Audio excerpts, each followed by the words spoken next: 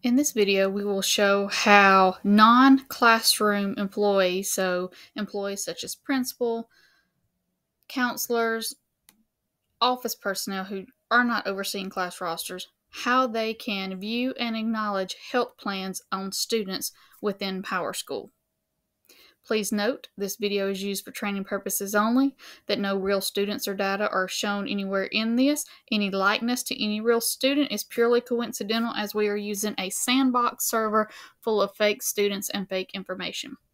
So if you wanted your principals and counselors or other office personnel to be able to sign off or view a health plan or acknowledge a health plan of a student within PowerSchool CS, the first thing they would need to do is search for the student in particular that you are wanting them to look at.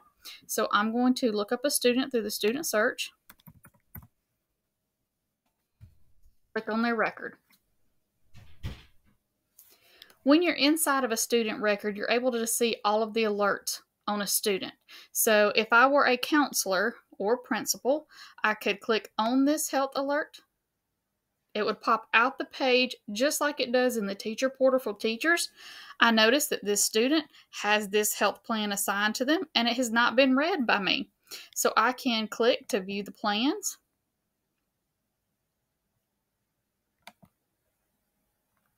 It will bring up the plan. So I will click on the name. I can then view the plan in its entirety. And then at the very bottom of the plan, I can acknowledge that I have read and understand this health plan. So if you choose to have your office personnel view the health plans of the students in the school, this is how they would do it. Click the box and choose acknowledge. Now, if I go back, and let's say I'm the nurse in the school, when I click and go to the student record, and go to the health component, of the health plans.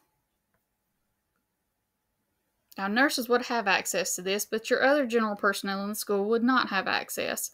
When they look at the read receipts, you will see here that acknowledgement.